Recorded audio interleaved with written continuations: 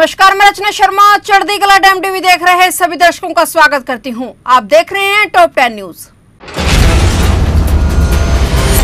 Delhi high court में आज एक महत्वपूर्ण फैसला होना था। आज दिल्ली शराब नीति घोटाले के मनी लॉन्ड्रिंग मामले में ट्रायल कोर्ट से मिली जमानत के खिलाफ ईडी की याचिका पर सुनवाई होनी थी। मगर इस मामले में आज दिल्ली हाईकोर्ट में होने वाली सुनवाई को स्थगित कर दिया गया है। अरविंद केजरीवाल को ईडी ने दिल्ली शराब नीति घोटाले के मनी लॉन्ड्रिंग मामले में 21 मार्च को गिरफ़्तार किया था। आज उनकी याचिका पर होने वाली सुनवाई टाल दी गई है। अब अगली सुनवाई 7 अगस्त को होगी।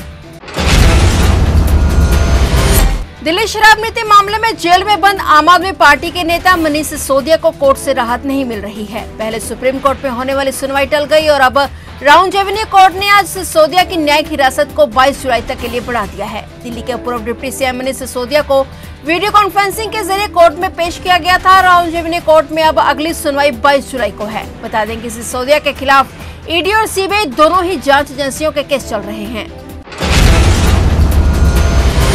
किसानों द्वारा दिल्ली कूच की तैयारी शुरू कर दी गई है। एक और जहाँ हाईकोर्ट द्वारा हरियाणा सरकार से शंभू बॉर्डर खोलने का आदेश दे दिया गया है, वहीं सुप्रीम कोर्ट से हरियाणा सरकार को कोई राहत नहीं मिली। अब किसानों द्वारा मीटिंगें की जा रही हैं। संयुक्त किसान मोर्चा गैर राजनीतिक और किसान मजदूर मोर्चा की संयुक्त बैठक में कुछ अहम फैसले लिए गए। बताया जा रहा है कि दोनों मोर्चे 16 जुलाई को सुबह 11 बजे चंडीगढ़ के किसान भवन में प्रेस कॉन्फ्रेंस कर अगली रणनीति का ऐलान करेंगे। युवा किसान नेता नवदीप जलबेड़ा की रिहाई के लिए 17 जुलाई को अम्बाला के बाज़ार में किसान बड़ी संख्या में एकत्रित होकर एसपी कार्यालय अम्बाला का घेराव करेंगे, जबकि 22 जुलाई को संयुक्त किसान मोर्चा गैर राजनीतिक और किसान मजदूर मोर्चा का संयुक्त सम्मेलन नई दिल्ली के कॉन्स्टिट्यूशनल कमरे में होगा और इस मौके पर देश भर से 200 किसान संगठनों के प्रतिनिधि हिस्सा लेंगे।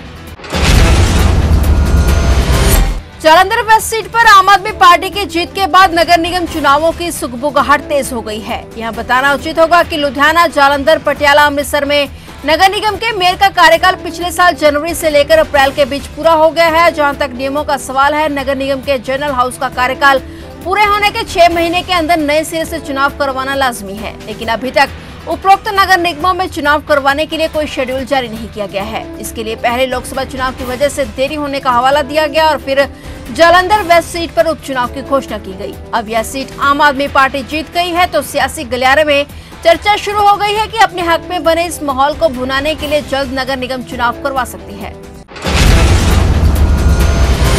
यूपी, असम और गुजरात में बाढ़ की स्थिति को देखते हुए केंद्रीय गृह मंत्रालय एक्टिव हो गया है। गृह मंत्री अमित शाह ने यूपी के मुख्यमंत्री योगी आदित्यनाथ, असम के सीएम हेमंत बिस्वा शर्मा और गुजरात के मुख्यमंत्री भूपेंद्र पटेल से स्थिति को लेकर फ़ोन पर बात की। बात करने के दौरान अमित शाह ने तीनों राज्यों के मुख्यमंत्रियों को केंद्र सरकार की ओर से हर मदद का आश्वासन दिया है। बता दें कि यूपी, असम और गुजरात के कई हिस्सों में लगातार बारिश के कारण बाढ़ आ गई है।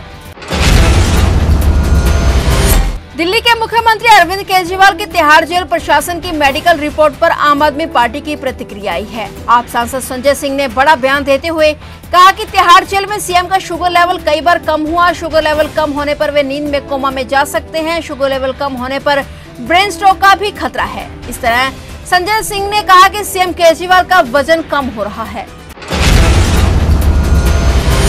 अरविंद केजरीवाल के वज़न को लेकर चल रहे दावे पर तिहाड़ जेल के सुपरिटेंडेंट ने दिल्ली सरकार के गृह विभाग को पत्र लिखा है। जेल सुपरिटेंडेंट के मुताबिक एक अप्रैल को जब सीएम केजरीवाल पहली बार तिहाड़ जेल आए थे तो उनका वज़न पैंसठ किलोग्राम था। दो जून को जब जेल में सरेंडर किया तो उनका वज़न तिरसठ दशमलव पाँच किलोग्राम था। फ़िलहाल उनका वज़न इकसठ दशमलव पाँच किलोग्राम है। कम खाना खाने या कम कैलोरी इंटेक के चलते भी वज़न में गिरावट हो सकती है। सीएम केजरीवाल का रोज़ाना वरिष्ठ स्वास्थ्य अधिकारियों की देखरेख में चेकअप होता है। साथ ही कोर्ट के आदेश के अनुसार मेडिकल बोर्ड से परामर्श के समय उनकी पत्नी सुनीता केजरीवाल भी मौजूद रहती हैं। जेल सुप्रिंटेंडेंट ने आप नेताओं के बयानों का खंडन करते हुए कहा कि आम आदमी पार्टी के नेताओं द्वारा निराधार आरोप लगाए गए हैं। ये जेल प्रशासन को डराने के इरादे से झूठी जानकारी और जनता को भ्रमित करने की कोशिश है। केरल के विभिन्न हिस्सों में लगातार भारी बारिश और तेज हवाएँ चलने का दौर जारी है, जिसके चलते अधिकारियों ने आज सोमवार को सात जिलों में शैक्षणिक संस्थानों में छुट्टी घोषित कर दी है। भारत मौसम विज्ञान विभाग ने आगामी कुछ घंटों में तिरुवनंतपुरम और कोलम जिलों में एक या दो स्थानों पर भारी बारिश और 40 किलोमीटर प्रति घंटे की रफ्तार से तेज हवाएँ चलने का पूर्वानुमान जताया है। अधिकारियों ने बताया कि इससे बड़े पैमाने पर क्षति हुई है, पेड़ उखड़ गए हैं, भूस्खलन हुए हैं। भारी जलभराव हुआ है और घरों को आंशिक नुकसान पहुँचा है। लगातार हो रही बारिश को देखते हुए शैक्षणिक संस्थानों में अवकाश घोषित कर दिया गया है। इसके साथ ही विभिन्न बांधों के गेट खोल दिए गए हैं।